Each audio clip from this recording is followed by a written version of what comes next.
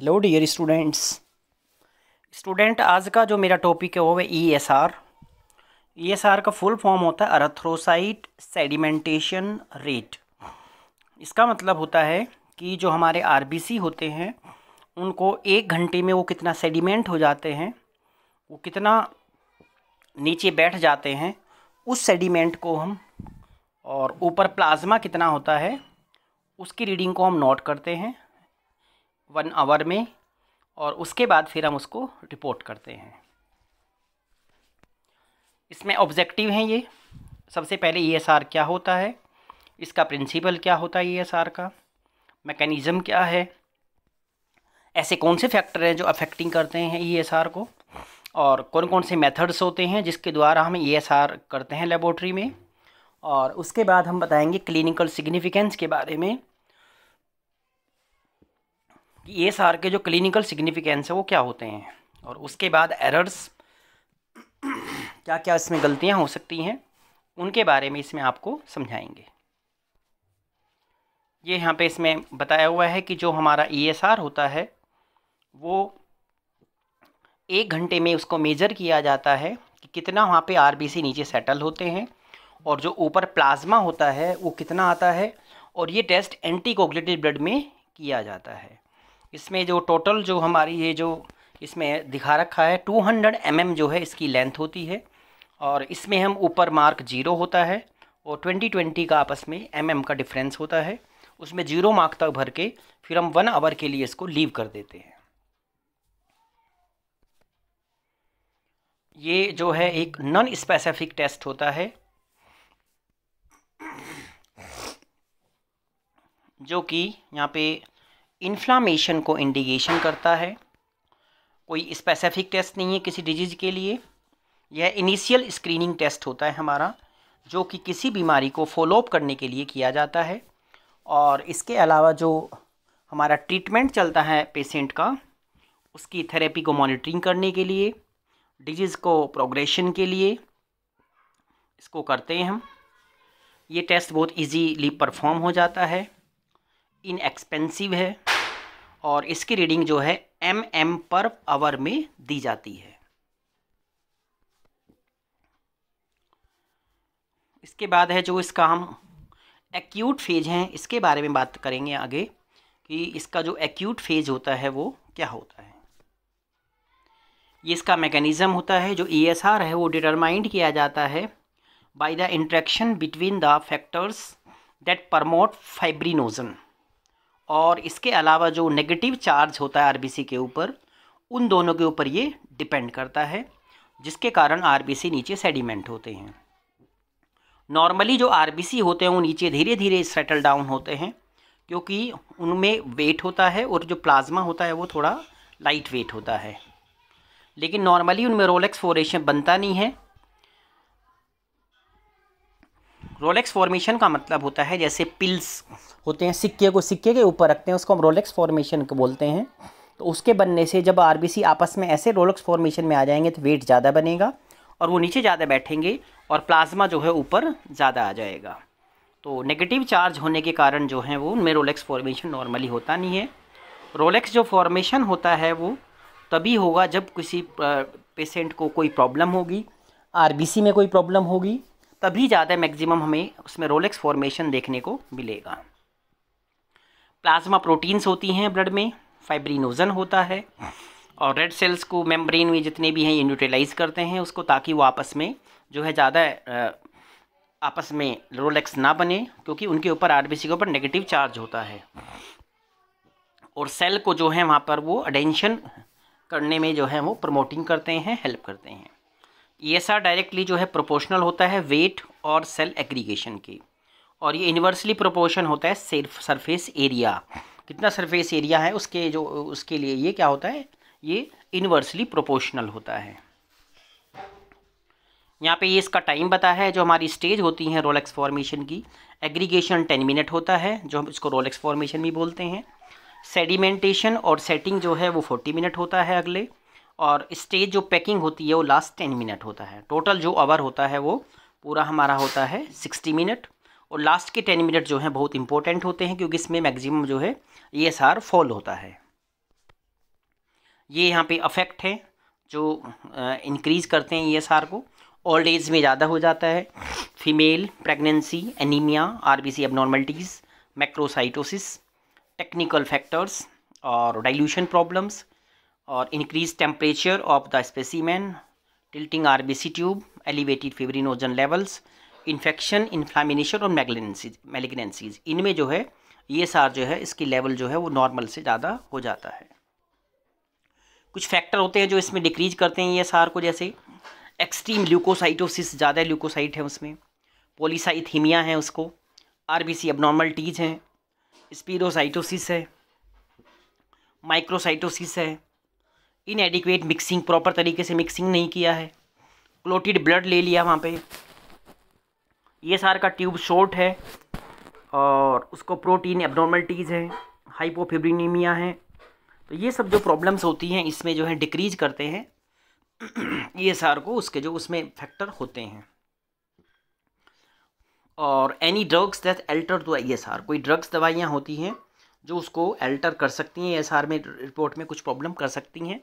उसके बारे में हम आपको बताएँगे कि भाई कुछ ऐसे ड्रग्स होते हैं, उनको लेने से हमारा ब्लड जो है पतला या मोटा हो जाता है तो वो भी जो है वहाँ पे ई एस आर में इफ़ेक्ट करते हैं। इसके मेथड हमारे पास एक Westergren method Wintrobe method Landau method और automatic E S R method चार तरीके से हम जो है, ये ई एस आर परफॉर्म करते हैं। पहला वेस्टर्गन मेथड होता है। ये मेन मेथड है हमारा, इसके द्वारा जो है टेस्ट किया जाता है। इसमें हमें चाहिए वेस्टर्गन पिपिट, जिसकी लेंथ होती है two हंड three hundred M M, but graduation only two hundred M M में होता है। Diameter two point five M M होता है। वेस्टागन स्टैंड चाहिए एंटी कोगलेंट डाइल्यूशन सोल्यूशन चाहिए tri sodium citrate four is to one ratio, और ई जो है वो भी इसमें चल सकता है। इसके बाद हम क्या करेंगे? ब्लड लेंगे। उसको अच्छी तरह एंटी कोगलेंट में मिक्स करेंगे। मिक्स करने के बाद फिर हम लेंगे वेस्टागन इसमें ट्यूब उसमें ज़ीरो तक हम फिल करेंगे ब्लड को रबर लगाकर ऊपर। और भरने के बाद फिर इसको स्टैंड में हम वहाँ पे इसको स्टैंड करेंगे और वन आवर तक वेट करेंगे। वन आवर के बाद जो ऊपर प्लाज्मा होगा, उसको देखेंगे हम कितना प्लाज्मा ऊपर है। उसकी रिपोर्ट हम वन आवर के बाद एम पर आवर में इसकी रिपोर्टिंग करेंगे। ये नॉर्मल वैल्यू है इसके जो जो हमने ये मेथड करेंगे इसमें, सबकी जितने मेथड होते हैं, सबकी वैल्यूज़ अलग अलग होती हैं। मेल फिफ्टी ईयर के ऊपर है तो zero to fifteen M M per first hour male जो है मोर देन फिफ्टी ईयर है तो zero to twenty M M per first hour female fifty years है तो ज़्यादा है तो सी जो है वहाँ पे zero to twenty M M और फीमेल फिफ्टी आवर से ज़्यादा है तो उसकी है zero to thirty M M per hour और बच्चों में zero to ten M M per hour ये नॉर्मल रेंज है। मेल और फीमेल की। इसका एडवांटेज क्या होता है? ये मोर रिलायबल मेथड होता है और एक्यूरेट रिपोर्ट देता है। डिसएडवांटेज क्या है इसके? इसमें ज़्यादा ब्लड की ज़रूरत पड़ती है। इसको फिल करना डिफ़िकल्ट होता है। पीसीवी हम नहीं कर सकते इसके साथ में। पीसीवी के लिए अलग से हमें टेस्ट लगाना पड़ेगा। और माउथ पिपेटिंग जो है वो हमारे जो ह्यूमन बींग्स होते हैं टेक्नीशियन होते हैं, उनके लिए ये हार्ड जेस होती है एक्सीडेंटल होती है। इसके बाद अगला मेथड है हमारा विंट्रोप मेथड। विंट्रोप मेथड जो इसमें एडवांटेज होता है, ये दो टेस्ट एक साथ कर सकते हैं ई e और पीसीबी पीसी होता है पैक्ड सेल वॉल्यूम इसमें रिक्वायरमेंट में चाहिए Wintrobe tube Wintrobe stent anti coagulated blood EDTA या डबल ऑक्सीडेटिव ब्लड जो भी हमारे पास होगा वो इसमें चलेगा। विंट्रोप मेथड में हम क्या करते हैं, पहले सबसे पहले जो ब्लड है, उसको लेके हम मिक्स करते हैं अच्छे तरीके से। इसके बाद जो हमारी लॉन्ग निडिल होती है, उसके द्वारा या पार्सल पिपेटर लॉन्ग उसके द्वारा ज़ीरो मार्क तक उसमें हम भरते हैं। ब्लड विंट्रोप ट्यूब में और वन आवर के लिए जो स्टैंड है विंट्रोप इसमें हम रख देते हैं। एक घंटे बाद उसकी रिपोर्ट नोट करते हैं और उसको फिर हम जो पेशेंट है, उसको दे देते हैं। ये इसकी नॉर्मल वैल्यू है। मेल में zero to nine M per first hour female में zero to twenty per first hour और चिल्ड्रन में zero to thirteen M per first hour की इसकी नॉर्मल वैल्यू है। हर एक टेक्निक की नॉर्मल वैल्यू अलग अलग होती हैं ई आर में, जो हमारे मेथड्स होते हैं। इसके बाद है मॉडिफाइड जो हमारा वेस्टर्गन मेथड है। इसमें ई डी ब्लड चाहिए हमें, जो यहाँ पे हम साइटेड की जगह यूज़ कर सकते हैं। Two M L E D blood और डाइल्यूट करेंगे point five M L three point eight percent जो हमारा टाई सोडियम साइट्रेट है, या point eight five percent normal saline है, उसमें हम उसको ऐड करते हैं। उसके बाद माइक्रो सेडिमेंटेशन मेथड होता है, जिसको हम लैंडू मेथड बोलते हैं। इसका यूज़ जो है इन्फेंट्स जो होते हैं माइक्रो मेथड बोलते हैं इसको हम। जो इन्फेंट होते हैं जिन पे ब्लड कम आता है, उनके लिए यूज़ किया जाता है। इसमें हम कैपलरी जो ब्लड लेते हैं हील फिंगर टिप टॉप में से, और फाइव ग्राम जो है ट्राइसोडियम साइट्रेट वहाँ मिलाते हैं। और पिपेट जो है, वो ज़ीरो टू फिफ्टी एम होती है। पिपेट स्टैंड होना चाहिए सक्सेस होना चाहिए। सक्सन जो उसके ब्लड पिपेट में भरेंगे। और जो हमारी कैपलरी जो होनी चाहिए, वो ब्लड कलेक्शन के लिए अवेलेबल होनी चाहिए वहाँ पे। सबसे पहले जो है लेंगे हम पिपेट को अटैच करेंगे सेक्शन में डिवाइस में और उसमें ड्रॉ करेंगे 5.0 ग्राम पर डी एल साइटेट जो सॉल्यूशन है वो लेंगे और उसके बाद ब्लड लेंगे उसमें और लेने के बाद में फिर हम उसको दोनों को आपस में मिक्स करेंगे बल्ब की हेल्प से और ज़ीरो मार्क तक भरने के बाद में फिर उसको वर्टिकल रख देंगे हम स्पेस में जो हमारा स्टैंड है उसमें और एक घंटे बाद उसकी हम रीडिंग नोट करेंगे। इसकी रेफरेंस वैल्यू है मेल में zero to five M M for first hour female में zero to eight M M new born में zero to two M M और नियोनेट्स जो होते हैं उनमें three to thirteen M M per first hour ये इनकी नॉर्मल वैल्यू है इस मेथड की. और ऑटोमेटिक जो मेथड होता है, उसके नाम है Vesmatic twenty E S R stat plus Sedimat fifteen और जीटा सेडिमेंटेशन रेशो ये अलग अलग जो हैं ऑटोमेटिक मेथड हैं। इनमें हमें ज़्यादा कुछ नहीं करना होता। और अपने आप ही ब्लड ऊपर तक आ जाता है और एक घंटे बाद इनकी रिमोट हम चेक कर नोट करते हैं। वी एस जो हमारा मैट्रिक ट्वेंटी मेथड है ऑटोमेटिक होता है ये। और इसके अंदर जो है ब्लड कलेक्ट होता है कुवेट के अंदर। और सैंपल जो है, उसमें हम दे, रख देते हैं। और 18 डिग्री स्लांटिंग में हम जो है एक्सरेट करते हैं एस को। और उसके बाद में जो 20 एम जो 20 हमारा ब्लड सैंपल है, वो इसमें कर सकते हैं हम मेजर कर सकते हैं। और इसका रिज़ल्ट जो है वो वेस्टग्रन जो मेथड होता है, उससे एक तरह से कंपेयर कर सकते हैं। अच्छा मेथड है ये। और अप्रोक्सीमेटली ये ट्वेंटी फाइव मिनट में जल्दी जो हमारा टेस्ट हो जाता है और वेस्ट जो हमारा अदर मेथड है, उसमें हमें वन आवर लगता है। इसका जो प्रिंसिपल होता है, वो ब्लड जो कलेक्टेड करते हैं हम स्पेशल क्वेट के अंदर में। सैंपल मिक्स करते हैं हम इंस्ट्रूमेंट के द्वारा वहाँ पे। और सैंपल को अलाउ करते हैं स्टैंड करने के लिए। 18 जो हमारा डिग्री होता है स्लांट वर्टिकल पोजीशन में। और ऑप्टो इलेक्ट्रिकल जो सेंसर होता है, वो इसमें मेजर करता है ई e को। और डाटा जो है एलिब्रेट करते हैं, उसमें प्रिंट आउट निकलता है। और प्रिंट के हिसाब से फिर हम उसको रिपोर्टिंग पास करते हैं। ये हमारा वी जो है मैट्रिक ट्वेंटी है, जो हमारा इंस्ट्रूमेंट है ऑटोमेटिक है। और इसमें प्रिंट जो निकलेगा, ये ई e को ट्वेंटी फाइव मिनट में हमें रिपोर्ट दे देगा ये। E S R stat plus ये एक सेंटिफिकेशन बेस्ड मेथड होता है, जो कि पाँच मिनट में हमें आर की रिपोर्ट ये प्रोवाइड कर देता है और हमें हमें जो रिज़ल्ट है वो जल्दी देखने को यहाँ पर मिलता है। इसका जो वर्किंग प्रिंसिपल होता है, ये इसमें यहाँ पे दिया हुआ है। स्टेप बाय स्टेप हम इसको यहाँ पे करते हैं और इसके बाद हमें जल्दी इसकी ये रिपोर्ट पाँच मिनट में रिपोर्ट हम इसकी दे दे देते हैं। ये हमारा एस आर्ट प्लस प्लस है जो ऑटोमेटिक मेथड है मशीन है ये। इस मशीन के द्वारा हम ये टेस्ट परफॉर्म करते हैं। सेडिमेंट जो फिफ्टीन है, उसमें हम क्या करते हैं? वहाँ पे जो वेस्टर्नर पीपेट होती है, उसके अंदर जो है fifteen automatic E S R reader होते हैं और वो एक्सक्रिएट करते हैं सेडिमेंटेशन में कंट्रोल करते हैं उसको वहाँ पे। और उसके बाद जो ब्लड हम लेते हैं इसके अंदर में इन्फेंट से, बच्चों से, लेने के बाद उसमें उसको हम डालते हैं और जो हमारा रिपोर्ट है, पंद्रह मिनट में आ जाता है। और एलसीडी डिस्प्ले में इसकी रिपोर्ट आती है। और इसमें ये मशीन के द्वारा प्रिंट आउट भी ले सकते हैं और उसकी मेमोरी में जो हमारी रिपोर्ट है वो स्टोर भी हो सकती है। इसके एडवांटेज क्या हैं? एक तो हमारा क्या है कि इसमें जो टेक्नीशियन है, उनका टाइम बचता है रिपोर्ट जल्दी मिलती है और सेफ्टी होती है मेन जो लेबोरेटरी टेक्नीशियन है उसकी। और इसमें जो हमारा लेबोरेटरी इंफॉर्मेशन सिस्टम है वो अच्छा हो जाता है।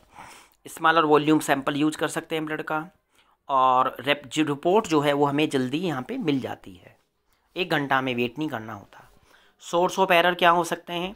इम्प्रॉपर रेशो हमने ब्लड का एंटीकोडा रेशो प्रॉपर नहीं लिया है। हिमोलाइज ब्लड हो गया क्लोटेड ब्लड हो गया, और बबल्स आ गए उसमें, या कुछ उसमें सनलाइट्स के कारण वाइब्रेशन के कारण स्मॉल बोर साइज़ के कारण डर्टी ये सब वेट ट्यूब इनके कारण जो है रिपोर्ट में चेंजेज आ सकते हैं। डिले इन परफॉर्मिंग देर टेस्ट में देर डिले कर दिया। तो ये सब सोर्स ऑफ़ एरर्स होते हैं और कुछ पैथोलॉजिकल कंडीशंस होती हैं जो कि एसोसिएटेड होती हैं, जिसमें ई एस आर इंक्रीज हो जाता है। जैसे बीमारी होती है rheumatic fever rheumatoid arthritis temporal arthritis polymyalgia rheumatica acute myocardial infarction malignancies tuberculosis anaemia इनमें जो है, जो हमारा जो रिपोर्ट है, वो इंक्रीज हो जाता है, जो मेन उसको पेशेंट को बीमारी है। Condition with associated with the very high मतलब हंड्रेड से भी ज़्यादा, जैसे मल्टीपल माइलोमा है किसी को कनेक्टिव टिश्यू डिसऑर्डर इसको एस बोलते हैं हम आरए बोलते हैं systematic lupus erythematosus rheumatoid arthritis other autoimmune जो डिज़ीज़ होती हैं ट्यूबरक्लोसिस में मैगलिगनेंसी में सीवियर एनीमिया में हंड्रेड से भी ऊपर जो ई एस आर है वो चला जाता है। और कुछ कंडीशंस इसमें लो हो जाता है, जैसे polycythemia severe leukocytosis sickle cell anaemia, उसमें आर बी का साइज़ चेंज हो जाता है, सिकल की तरह हो जाते हैं। Hereditary spherocytosis congestive cardiac failure corticosteroids using करता है, जो खाता है स्टेरॉइड्स हाइपोफिब्रिनजीमिया जिसमें फिब्रिन की मात्रा कम होती है तो इसमें जो है इनका ये सार जो है, वो लो हो जाता है। उसके बाद करेक्टेड कर सकते हैं ये सार को हम। जितने भी इन्फ्लुएंस फैक्टर होते हैं, उनको वहाँ से माइनस करके ये सार को हम करेक्ट कर सकते हैं। जहाँ पर रेड ब्लड सेल्स जो हैं, उनके वॉल्यूम के हिसाब से, वहाँ पे काउंटिंग के हिसाब से हम ई e को करेक्शन करके रिपोर्ट दे सकते हैं। इनका जो करेक्शन होता है, वो डिपेंड करता है कि हमारा आरबीसी काउंट कितना है। वो आरबीसी काउंट के हिसाब से फिर हम उसकी रिपोर्ट देते हैं और इसमें बताया हुआ है कि जो फोर्टी टू परसेंट है, वो हंड्रेड एम फीमेल पे और फोर्टी सेवन परसेंट जो है हंड्रेड एम और जो मेल्स हैं उसमें। ये हमारा जो है, एक पीसीवी का मेथड होता है, इसको हमें हम पीसीवी के बेस पे भी इसकी रिपोर्ट जो है हम दे सकते हैं करेक्शन करके। और इसकी कुछ लिमिटेशंस हैं ई e की। ई e जो है एक नॉन स्पेसिफिक टेस्ट है हमारा, जो कि कोई स्पेसिफिक बीमारी के नहीं नहीं करता है। ये बताता है कि कुछ ना कुछ बॉडी में इन्फेक्शन है या कोई सीवियर प्रॉब्लम है। और इसमें जो है कोई डायग्नोस्टिक टूल के हिसाब से हम इसको यूज़ नहीं कर सकते हैं। और कोई एक स्पेसिफिक डिज़ीज़ का इंडिकेशन इससे हमें नहीं मिलता है। क्लिनिकल सिग्निफिकेंस ऑफ़ ई ये जो है बीमारी को फॉलोअप करने के लिए किया जाता है। किसी भी डिज़ीज़ को प्रोग्नोसिस करने के लिए जो है ये टेस्ट किया जाता है। और अगर एक दो बार में ज़्यादा आ रहा है तो रिपीट करना पड़ता है हमें टेस्ट को। दोबारा देखेंगे दो तीन दिन या एक हफ़्ते के बाद में। और ऑर्गेनिक और नॉन ऑर्गेनिक जो डिसऑर्डर्स हैं, उसके बीच में यहाँ पे डिफरेंस किया जाता है। और यह टेस्ट जो है हमारे डायग्नोस को सपोर्ट करता है। थैंक यू बच्चों। आज का जो मेरा टॉपिक था वो था E S R erythrocyte sedimentation rate हमने आपको इसके बारे में, इसके मेथड के बारे में बताया है। हम इसको क्यों करते हैं, इसके क्लिनिकल सिग्निफिकेंस ये सारे मैंने इस लेक्चर में बताए हैं। तो स्टूडेंट प्लीज़ इसको आप देखिए और समझिए। अगेन थैंक यू बच्चों।